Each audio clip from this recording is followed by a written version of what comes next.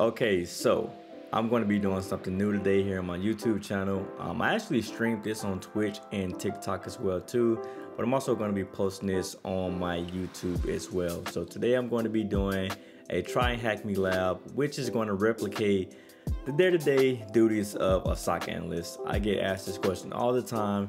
What can I expect as a security analyst, as a SOC analyst, or anything that's entry level when it comes to cybersecurity? And with this lab right here, it's basically going to show you exactly what you are going to be doing as a SOC analyst.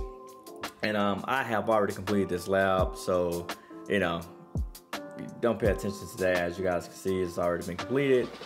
But as I am going through this lab, I'm going to be basically breaking down what I'm doing and why I'm doing it so that you guys can understand what is going on. And um, as you guys can probably tell right now, once I started, um, it's going to be on a Linux box. When most of the time, when you're working as a SOC analyst or security analyst, you're most likely going to be using a SIEM. And in a SIEM, it's going to make all the logs look kind of pretty. And you're going to see what I'm talking about shortly once this loads up. Uh, it's going to take a little minute as well too. Uh, so, uh, yeah. Ah, let's pretty much read the objective and asking what it's you know looking for. So the Santa, Santa Secret Operations Center has noticed one of their web servers, SantaGift.com, has been hijacked by the Bandit Yeti APT group. Elf McBlue's task is to analyze the log files captured from the web server to understand what is happening and track down the Bandit Yeti APT group.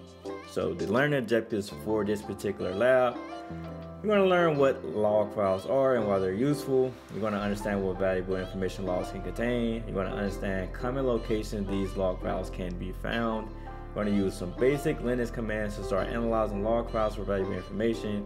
And overall, the biggest thing, we're going to help Elf McBlue track down the Bandit Yeti APT. Actually, hey, that sounds like a pretty cool name when you think about it. But um, yeah, so let's get into this.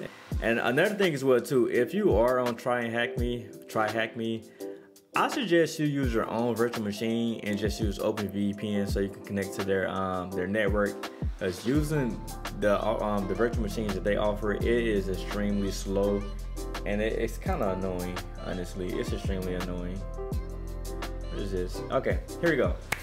All right. So the first question is use the ls command to list the files present in the current directory. How's that? So if you don't know what the ls command is, like I said, it basically lists everything that's in the current directory that you're working in. So let's just see what record, uh, work directory I'm in right now, just so you guys can see. So I'm basically in the home folder, um, in the user of uh, Elf McBlue, which is pretty much the user. And let's see ls. As you guys can see, ls.log and web server.log. Those are the two, um, what you call the two logs that's there. So obviously there's two. Um, Elf McSkidy managed to capture the logs generated by the web server. What is the name of this log file? And as you guys can tell, obviously it's going to be called web server. Um, that's going to be the actual name of the particular server that's going to be used. I mean the logs, the name of the file that the web server is going to be using. I screwed that all the way up. Web server log is the name of the file for the web server logs. There you go. My bad. I had a tongue twister right there. Um, so number three, begin investigating the log file from question number three to answer the question. All right. So to look into a log file or to read into any file that you have on a Linux system, you're going to be using the command called cat. And with cat, and as you go, okay, and so this goes to another piece when I was trying to tell you guys, remember when I was like SOC analyst or security analyst typically use SIEMs, which is basically, um, basically a piece of software that makes the log look pretty. So when I look at this right here, it's going to be a ton of text Actually, let me make this a little bit bigger. So let me redo that cat web server. Uh, my bad, y'all, so y'all can see that. I will go back down to it. Okay, so as you guys can tell right now, this is a lot, a lot of data in these logs. And I know you guys are probably wondering like, how am I supposed to go through all of this information to find what I'm looking for? Like that's, it's almost impossible. And we're to get into that once I start um, showing you guys around and start answering some of these questions. So as you guys can tell, all this stuff took place on November 18, 2022, which is, let's see, November 18, 2022. What day was that? Uh, that is a Friday. So we go back November 18th, Friday. I have that right there as you guys can already see. I got the answer correct. And then let's go back to the IP address. Um, in the logs again, you can see this is the IP address that caused all your logs to happen. This actually is the only IP address in this particular um, log file. So just add that here. Um, this is the IP address of that as well too.